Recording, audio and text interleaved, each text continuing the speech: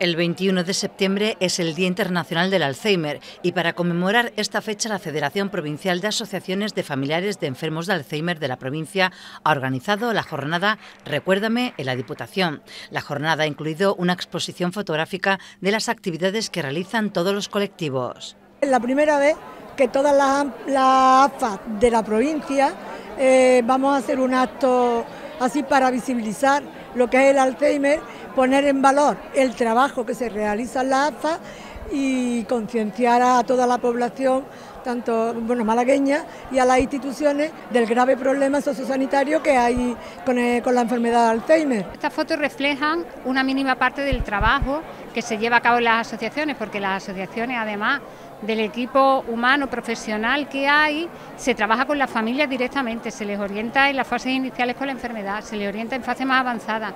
Luego hay otro papel como son el de las instituciones, los recursos institucionales a los que se pueden acceder.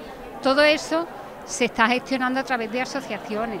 Bueno, habrá personas que puedan buscarse otros recursos, pero somos las asociaciones quienes estamos ayudando mucho en, en esos pasos que deben de ir dando cada familia en todo ese itinerario de lo que es padecer una enfermedad de Alzheimer. Durante la jornada también tuvo lugar una conferencia y una actuación del coro del Colegio de Abogados de Málaga. La charla abordó los aspectos sociales y jurídicos de la dependencia. Es verdad que si no te afecta se convierte en una enfermedad desconocida y por tanto tenemos que desde la administración y desde las instituciones, en este caso organizaciones, concienciar al resto de la población de que esta enfermedad está, de lo que supone el aspecto social, el aspecto eh, económico también, el aspecto eh, de salud que afecta a, no solo al enfermo, sino también a su entorno. Para conmemorar el Día Internacional del Alzheimer, el día 21, AFACOAL realizará una acuestación. El sábado 24, el Grupo por Amor al Arte ofrecerá una función benéfica. Y el martes 27, la compañía Caja de Grillos llegará a Coín con la obra teatral